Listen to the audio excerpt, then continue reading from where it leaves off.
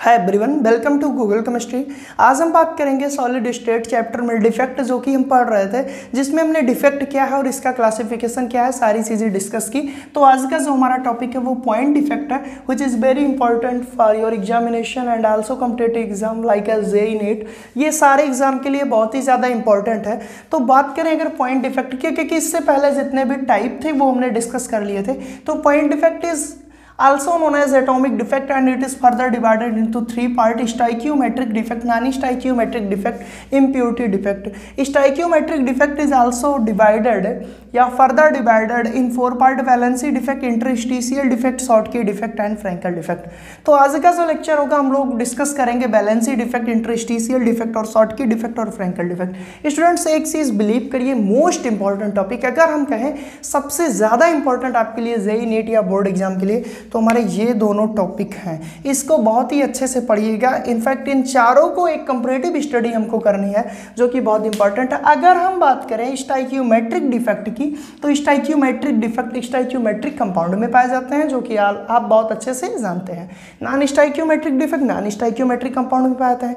ये सारी चीज़ें उतने अच्छे से हमको नहीं पढ़नी है, जितने अच्छे से इसको एक्सप्लेन करना है। और इम्प्योरिटी डिफेक्ट की बात करें तो कॉमन सेंस है इम्प्योर यानी किसी फॉरेजन सब्सटेक्स किसी फॉरेगन सब्सटेंस सब्सटेंस के आ जाने से क्रिस्टल लैक्टिक में कोई इम्प्योरिटी आ जाए एन अदर सब्सटेंस आ जाए, उसकी वजह से क्रिस्टल लैक्टिक का जो रेगुलर अरेंजमेंट बिगड़ जाता है, इसी को हम क्या कहते हैं? इम्प्योरिटी डिफेक्ट आई होप ये चीज़ें क्लियर हुई होंगी। अब हम बात करते हैं स्टाइक्योमेट्रिक डिफेक्ट के क्लासिफिकेशन में सबसे पहले बैलेंसी डिफेक्ट है। तो क्या होता है बैलेंसी डिफेक्ट इसको समझने के लिए हम यहाँ पे डायग्रामेटिक स्टडी आपको कराएँगे। सबसे पहले तो हम एक क्रिस्टल का फॉर्मेशन करते हैं।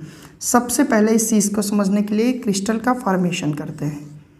ठीक है, ये हमने एक क्रिस्टल का फॉर्मेशन किया। मेरे साथ साथ आप भी क्रिस्टल का फॉर्मेशन करिए, जिससे चीज़ें बहुत ही अच्छे से क्लियर हों। ठीक है? यानी कि मेरा उतना अच्छा नहीं बना है, लेकिन आप थोड़ा अच्छा बनाएगा ये हमारा क्रिस्टल का फॉर्मेशन हो गया क्लियर अगर इस क्रिस्टल में से ये सारे एटम अरेंज है, मान लो कि ए है बी है, जो भी है मैटर नहीं करता।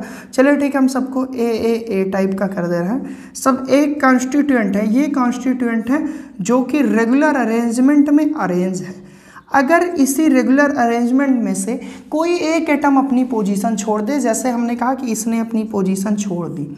कोई एक एटम अपनी पोजीशन छोड़ दे और वहाँ पे एक वर्ड का फॉर्मेशन हो, वहाँ पे एक साइड्स का फॉर्मेशन हो तो इस एटम का अपनी पोजीशन की छोड़ने की वजह से जो इस क्रिस्टल के अरेंजमेंट में डेविएशन आया, इसी को हम क्या कहते हैं?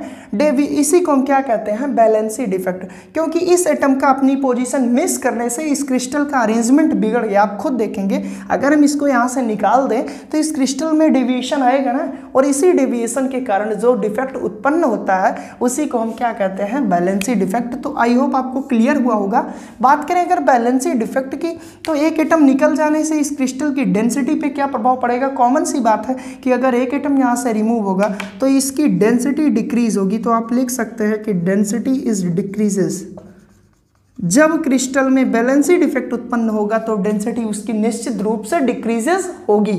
क्लियर ना? क्वेश्चन पूछ सकता है कि डेंसिटी की बैलेंसी डिफेक्ट हुआ और बताइए क्रिस्टल की डेंसिटी चेंज होगी, नहीं चेंज होगी या ज़्यादा चेंज होगी मतलब क्या?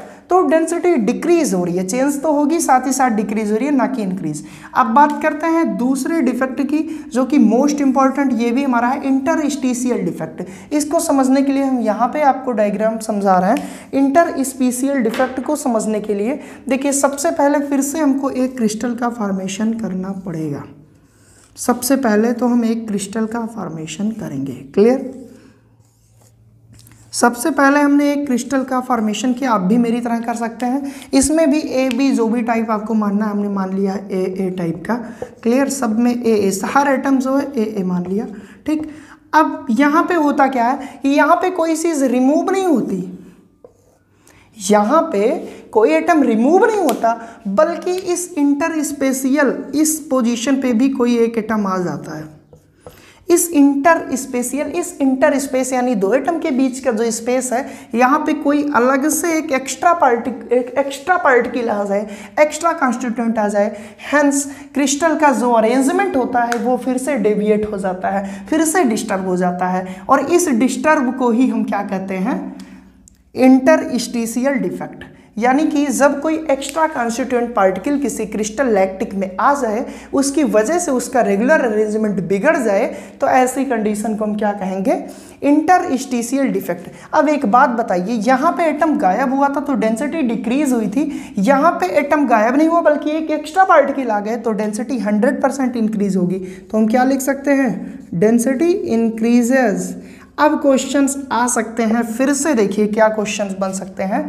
कि बैलेंसी डिफेक्ट और इंटरस्टिशियल डिफेक्ट के आने से बैलेंसी डिक्रीज होती है बैलेंसी इंक्रीज होती है, या एक की डिक्रीज एक की इंक्रीज होती है, या दोनों अनचेंज होती है तो एक की डिक्रीज और एक की इंक्रीज होती है। किसमें इंक्रीज होगी? जब हम इंटरस्टिशियल डिफेक्ट लाएँगे तो इंक्रीज होगी, और अगर बैलेंसी डिफेक्ट है तो डिक्रीज होगी। तो आई होप ये चीज़ें आपको बहुत ही अच्छे से क्लियर हुई होंगी। अब हम बात करते हैं most important term Schottky defect and Frenkel defect जो कि बहुत ही ज़्यादा इंपॉर्टेंट है। तो आइए बात करते हैं इसको। सबसे पहले आप इसका लीजिए स्क्रीनशॉट, फिर हम आगे आपको क्लियर करते हैं। बात करें अगर शॉर्ट की डिफेक्ट क्या होता है तो सबसे पहले हम आपको बता दें कि शॉर्ट की डिफेक्ट की जो डिस्कवरी हुई थी, वो 1930 में हुई थी। 1930 में एक जर्मन साइंटिस्ट थे, जिनका नाम शॉर्ट की था। उन्होंने क्या किया? उन्होंने इस डिफेक्ट की डिस्कवरी की। So this defect is also known as Schottky defect scientist कहाँ के थे? जर्मन साइंटिस्ट थे। ये सब बेसिक चीज़ें आपके एग्ज़ाम में नहीं आता, लेकिन आपको जानना ज़रूरी भी हो जाता है।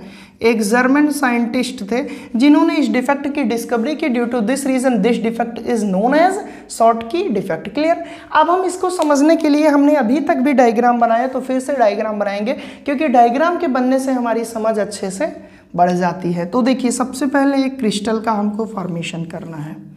सबसे पहले एक क्रिस्टल का फॉर्मेशन रही बात डिफिनीशन की तो वो मैं अभी समझाने के बाद लिख दूँगा। आप स्क्रीनशॉट ले लीजिएगा।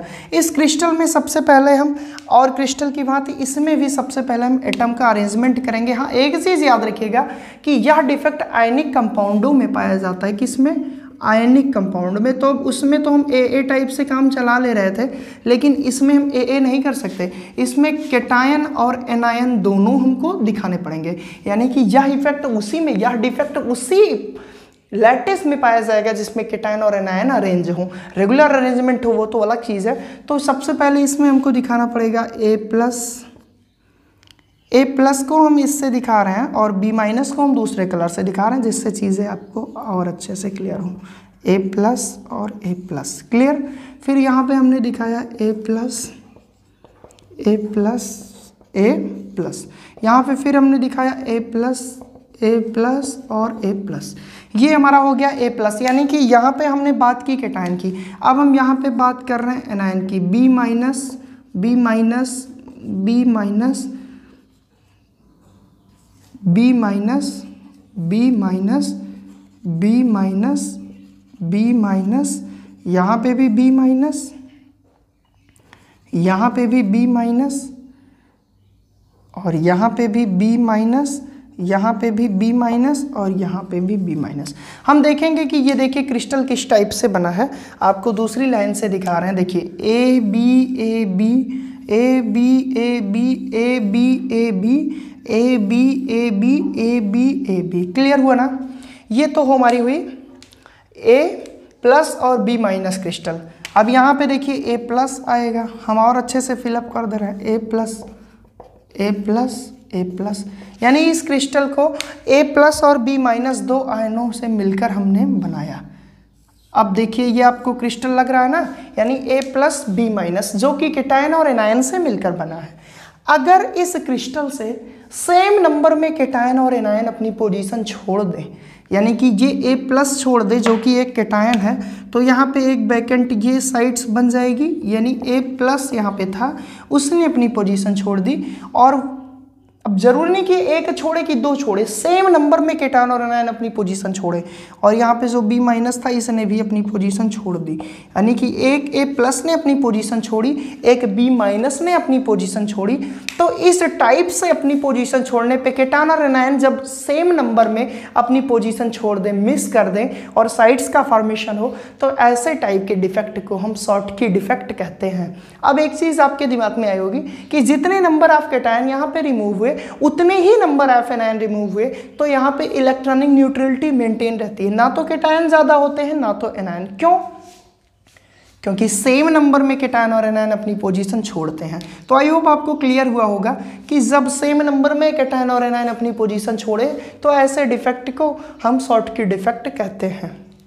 क्लियर अब बात करते हैं इसकी डिफिनीशन की तो मैं बोर्ड पे लिख दे रहा हूँ। सबसे पहले आप ये डायग्राम समझने के लिए बना लीजिए।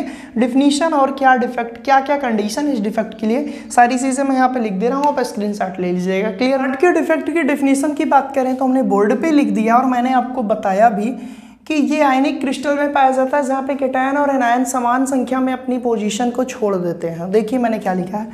If an if in ionic crystal of the type of A positive B negative it means a cation or anion equal number of cation or anion are missing from its position this defect is called Schottky defect if in if in an ionic crystal of the type of A plus B minus एक ionic crystal है जो A plus और B minus में है, जिसमें equal number में cation और anion missing हो जाते हैं अपनी पोजीशन से this defect is called Schottky defect clear ना?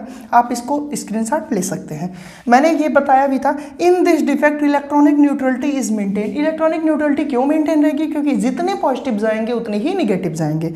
एग्ज़ाम्पल के लिए एनएससीएल एक आयनिक क्रिस्टल है के एक आयनिक क्रिस्टल है। अगर आपसे बात की जाए एनएससीएल में कौन सा डिफेक्ट है तो आप डायरेक्ट बताएँगे सॉल्ट की डिफेक्ट है क्लियर अब कंडीशन इस डिफेक्ट की कंडीशन क्या है? ये डिफेक्ट उन्हीं कंपाउंड में होता है जहाँ पे हाई कोऑर्डिनेशन नंबर जहाँ पे कोऑर्डिनेशन नंबर हाई हो। कोऑर्डिनेशन नंबर क्या है? ये आप पढ़ चुके हैं। Small differences in size of cation और एनायन जो हमारे केटायन और एनायन उनकी साइज़ के बीच में जो डिफरेंस हो, बहुत ही स्मॉल हो।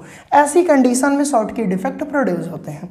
बात करें रिजल्टेंट की कि इस डिफेक्ट के बाद क्या क्या होता है तो इस डिफेक्ट से क्रिस्टल की स्टेबिलिटी बढ़ जाती है। ये देखिए, मैंने लिखा है इंक्रीज स्टेबिलिटी और इलेक्ट्रॉनिक कंडक्टिविटी भी इंक्रीज होती है। यानी कि शॉर्ट की डिफेक्ट क्रिस्टल की स्टेबिलिटी साथ ही साथ इलेक्ट्रॉनिक कंडक्टिविटी को बढ़ा देता है। तो सबसे पहले आप इसका स्क्रीनशॉट लीजिए, फिर हम चलते हैं अपने दूसरे, यानी कि last defect most important defect Frenkel defect की। फ्रैंकल डिफेक्ट की तो सबसे पहले आपको बता दें कि 1926 में रशियन साइंटिस्ट फ्रैंकल ने इसकी डिस्कवरी की। Due to this reason this defect this defect is known as Frenkel defect क्योंकि इसकी डिस्कवरी फ्रैंकल नामक साइंटिस्ट ने की, जो कि रसिया के साइंटिस्ट थे सो इस इफ़ेक्ट को हम, इस डिफेक्ट को हम फ्रैंकल डिफेक्ट के नाम से जानते हैं। मैंने सबसे पहले हर डिफेक्ट में आपको इलेक्ट्रॉनिक स्ट्रक्चर बना के बताया, जिससे चीज़ें क्लियर हुई तो यहाँ पर भी हम सबसे पहले एक डायग्राम देखेंगे। उसके बाद डिफिनीशन बोर्ड पर लिख देंगे, आप स्क्रीनशॉट ले लीजिएगा, लेकिन पहले चीज़ों को समझिए। देखिए, इसमें सबसे पहले हम एक क्रिस्टल का फॉर्मेशन करते हैं। इस क्रिस्टल का फॉर्मेशन के यहाँ पे हमने सबसे पहले क्या बनाया? एटम का अरेंजमेंट दिखाया। ठीक? यहाँ पे हमने एटम का अरेंजमेंट दिखाया। अब हम क्या करते हैं? यहाँ पे हम फिलअप करते हैं केटायन और एनायन को। अब मैटर ये नहीं करता कि केटायन है कि एनायन है। हाँ लेकिन हम भरते हैं। A, B A, B B, A B, A A, B A B clear अब देखिए, हम इसको जोड़ देते हैं, फिर आपको और अच्छे से क्रिस्टल का स्ट्रक्चर दिखेगा। ये। क्लियर हो रहा है ना? और ये जो स्पेस होता है, इसको हम क्या कहते हैं? इंटर इंटर स्टीसियल स्पेस इसको क्या कहते हैं? इंटर स्टीसियल स्पेस क्लियर ये जो गैप बना इसके बीच में ठीक? अगर कोई एटम कुछ बुक में केटायन दिया होगा बट मैंने कई सारी बुक पढ़ी तो मुझे पता चला कि केवल केटायन नहीं, कोई भी केटायन या एनायन ठीक? अगर कोई एटम मान लीजिए, सबसे पहले ए प्लस कर दे रहे हैं बी माइनस कुछ स्टूडेंट्स के मन में कन्फ्यूज़न होगी कि सर केटायन ही हमने पढ़ा है, हम केटायन ही गायब करवा दे रहे हैं। लेकिन आप जानिए कि केटायन या एनायन कोई एक, ज़रूर नहीं कि केटायन ही हो, ठीक है? तो बी माइनस ए प्लस कर दे रहे हैं, ज़्यादा कुछ है नहीं। ए प्लस बी माइनस ठीक? यानी ए हमारा पॉजिटिव है और बी हमारा निगेटिव है। अगर केटायन कुछ बुक में, जैसे ये केटायन है ए हमारा क्या है? ये केटायन ये अपनी पोजीशन छोड़ के इंटर इंटर स्टीसियल स्पेस में आ जाए, यानी कि ये यहाँ पे आ जाए ए प्लस ये यहाँ से यहाँ आ जाए। तो यहाँ से यहाँ आएगा तो इस क्रिस्टल की डेंसिटी पे कोई असर नहीं पड़ेगा। क्यों? क्योंकि ये गायब नहीं हुआ है। ये केवल डिस्प्लेस हुआ है। अपनी पोजीशन से इंटरस्टेशियल स्पेस में आ जाए तो ऐसे टाइप के डिफेक्ट से जो इरेगुलेशन उत्पन्न हुआ इस क्रिस्टल में, उसको हम क्या कहते हैं? फ्रैंकल डिफेक्ट अब एक चीज़ क्लियर करिए। यहाँ से ये यहाँ पे डिस्प्लेस हुआ है। तो इस डिफेक्ट को डिस्प्लेसमेंट डिफेक्ट भी कहते हैं। एग्ज़ाम में कभी कभी पूछ लेता है कि displacement defect is also known as तो फ्रैंकल डिफेक्ट और किसी किसी बुक में आपको डिसलोकेशन डिफेक्ट भी मिलेगा, क्योंकि अपनी पोजीशन छोड़ के दूसरे की लोकेशन पे आ जा रहा है। यहाँ तो कुछ नहीं था इंटर स्टीसियल स्पेस था।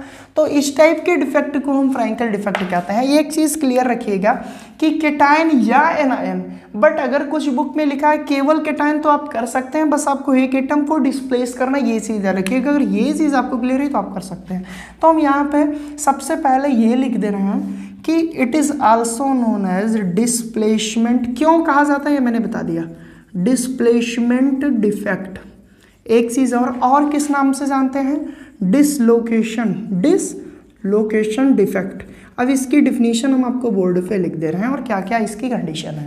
क्लियर ना? आई होप आपको चीज़ें क्लियर हुई होंगी। अब हम इसकी डिफिनीशन को बोर्ड पे लिख रहे हैं। बात करें अगर फ्रैंकल डिफेक्ट की तो इसका एक्सप्लेनेशन मैंने आपको दे दिया। आप बोर्ड पे, आप देखिएगा मैंने इसकी डिफिनीशन लिख दी है। If an ion is missing its electric side and it occupied at interstitial site. Then this type defect is called Frankel defect, displacement defect and dislocation defect. मैंने क्या बताया कि if an ion, यदि कोई ion अपनी position से miss करके electric site के पोजीशन मतलब इलेक्ट्रिक साइट में जो उसकी पोजीशन है, वहाँ से मिस कर जाए और वो ऑक्यूपाइड हो कहाँ? जो इंटरस्टिशियल जो इंटरस्टिशियल स्पेस हो, वहाँ पे जाके वो ऑक्यूपाइड हो then this type defect is called displacement defect dislocation defect and Frenkel defect बात करते हैं अगर इस डिफेक्ट में तो क्योंकि यहाँ पे कोई आयन गायब नहीं हुआ है, बल्कि अपनी पोजीशन से इंटरस्टिशियल पोजीशन पे आ गया है तो न्यूट्रलिटी मेंटेन रहेगी electronic neutrality is maintain in this effect but density density पे भी कोई चीज़ नहीं आएगा, क्योंकि गायब हुआ होता तो डिक्रीज होती, कोई एक्स्ट्रा आया होता तो इंक्रीज होती बट यहाँ पे तो केवल डिस्प्लेसमेंट हुआ है। बात करें अगर एग्जांपल की तो this type effect is found in A G C L A G B R Z N S type crystal तो अगर आपसे पूछ ले एग्ज़ाम में कि जिंक सल्फाइड क्रिस्टल में किस टाइप का डिफेक्ट है तो फ्रेंकल डिफेक्ट क्लियर बात करें अगर कंडीशन की तो इस डिफेक्ट के लिए कोऑर्डिनेशन नंबर बहुत ही लो चाहिए और कैटाइन की size small like as A G C L में ए जी प्लस की जो साइज़ होती है, वो बहुत ही स्मॉल होती है. बात करें अगर इस इस डिफेक्ट के बाद क्या क्या प्रभाव पड़ते हैं क्या क्या इफ़ेक्ट पड़ते हैं क्रिस्टल पे तो स्टेबिलिटी डिक्रीज हो जाती है. यार क्यों नहीं डिक्रीज होगी क्योंकि रेगुलर अरेंजमेंट में डेविएशन आ जा रहा है। वो अपनी पोजिशन ही छोड़ दे रहा है। कहाँ चला जा रहा है? इंटरस्टिशियल स्पेस में। और जो कंडक्टिविटी होती है, वो इंक्रीज होती है। तो आई होप आपको ये चारों डिफेक्ट जो आज हमने बात की, हमने बात किया बैलेंसी डिफेक्ट की इंटरस्टिशियल डिफेक्ट की और शॉर्ट की डिफेक्ट और फ्रैंकल डिफेक्ट तो आई होप आपको चारों डिफेक्ट क्लियर हुए होंगे। अगर कोई प्रॉब्लम है तो कमेंट सेक्शन में कमेंट करिए। और इस यहाँ से रिलेटेड क्वेश्चंस करिए। और इस इस चैप्टर को कंप्लीट होने के बाद मैं सारे क्वेश्चंस कराऊँगा। तो आज के लिए बस इतना ही. Thank you